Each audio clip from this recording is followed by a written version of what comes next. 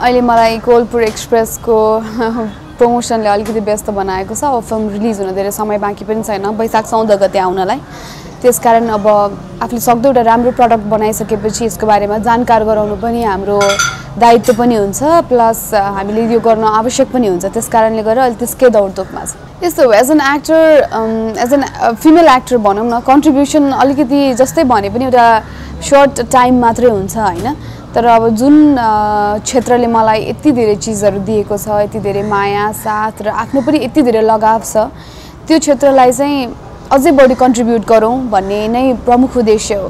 त्यसबाहेक film making भनेको मेरो अचानक आएको इन्ट्रेस्ट होइन। मैले पहिल्यैदेखि नै राम्रो फिल्महरू चाहिँ निर्माण गरौँ राम्रो कथा नभनिएको कथाहरूमा चलचित्र बनाऊ भन्ने खालको सोच मेरो पहिलेदेखि नै थियो। त्यस कारण पनि को निर्माणमा हात हालेको अहिले चाहिँ।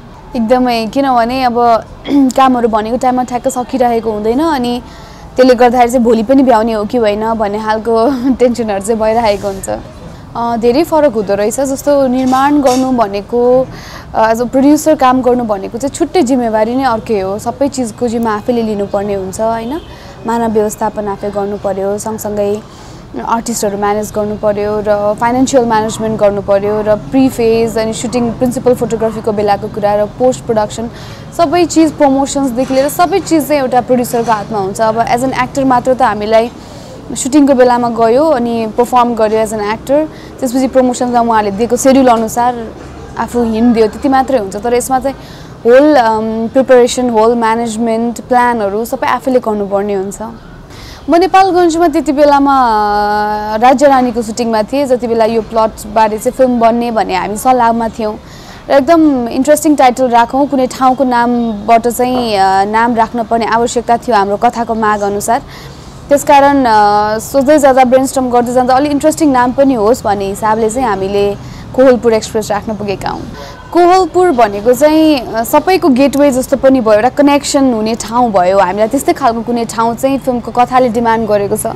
त्यस कारण र त्यो प्लस अर्को के भयो भने मेरो हेयर स्टाइलिस्ट त्यहीँबाट बिलङ गर्नुहुन्थ्यो। अनि एभ्री डे आउँथ्यो नि मैले कोहलपुर कोहलपुर सुनि नै राखेको हुन्थेँ। मलाई इन्ट्रेस्टिङ नामै आफैमा एउटा इन्ट्रेस्टिङ नाम लाग्थ्यो कि। त्यस कारण दुई तिनवटा नाम सजेस्ट गर्ने क्रममा चाहिँ अनि हाम्रो डिरेक्टर विशाल दाईले चाहिँ यही नाम नै उपयुक्त हुन्छ भनेर सिलेक्ट गर्नुभयो। होइन मैले फाइदा बेफाइदा सोचेर काम गरेकै छुइनँ फर्स्टमा। म चाहिँ कर्ममा विश्वास गर्ने मान्छे हुँ। आफूले गर्दै जाने हो यसले के कस्तो प्रतिफल दिन्छसँग मतलब छैन। मैले इमान्दारीपूर्वक मलाई दिएको काम मैले जिम्मा लिनु पऱ्यो मैले काम गर्न सक्नु पऱ्यो अल्टिमेटली भनेको दर्शकलाई के कस्तो लाग्छ त्यही नै हो हाम्रो जित हार भनेको। त्यसकारण अब ठिकै छ यो चिजले के कस्तो प्रतिफल दिन्छ त्यसले चाहिँ मैले अब भविष्यमा गर्ने काम अझै सचेत भएर गर्नुपर्छ कि अथवा त्यही अनुरूपै गर्नुपर्छ कि भन्ने चिज चाहिँ निर्धारण गर्छ। तर यसले फाइदा कस्तो गला बेफाइदा भन्ने कुरा नै हुँदैन। जे चिजबाट पनि सिकिने हो।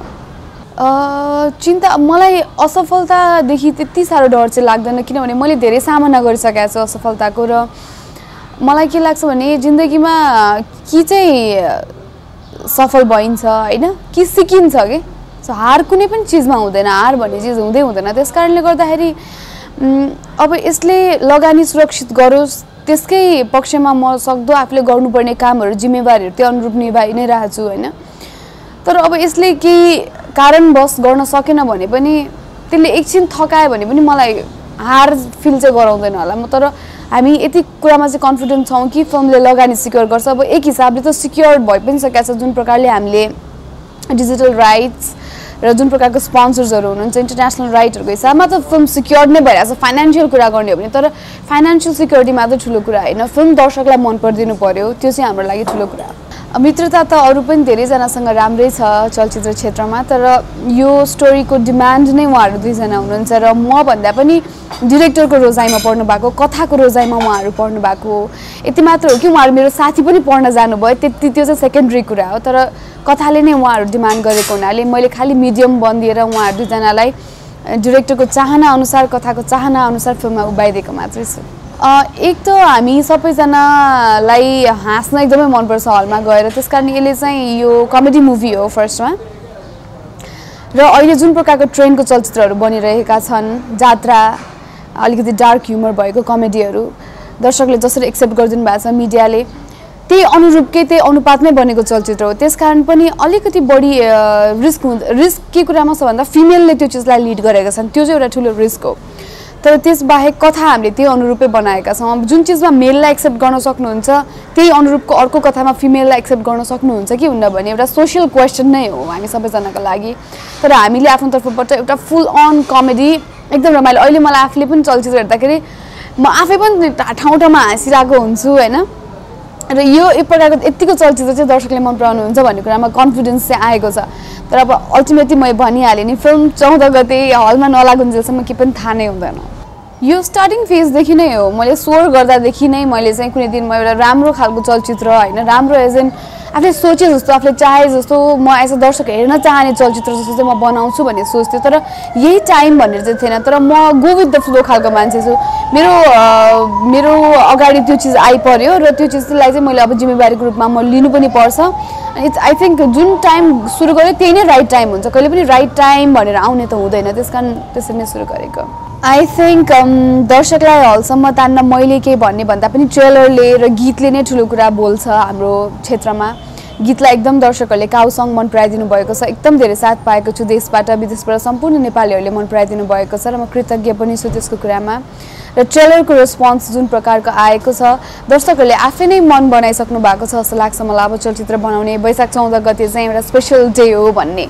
त्यस कारण म यो यो कारणले हेर्नु नै भन्दिनँ। हामीले जे जे चिज प्रमोसनल मटेरियलको रूपमा बाहिर ल्याएका छौँ त्यो चिजलाई एकचोटि निहालिदिनुहोस् हेरिदिनुहोस्। समय पाउनुभएको छैन बरु हेर्नुहोस्। र त्यो चलचित्र मैले अट्र्याक्ट गरेको छ तपाईँलाई र यो चलचित्र चाहिँ मलाई हेर्दा रमाइलो लाग्नेछ जस्तो लाग्छ भने आफ्नो साथीभाइहरूसँग आफ्नो फ्यामिलीसँग गएर चलचित्र हेर्न सक्नुहुन्छ।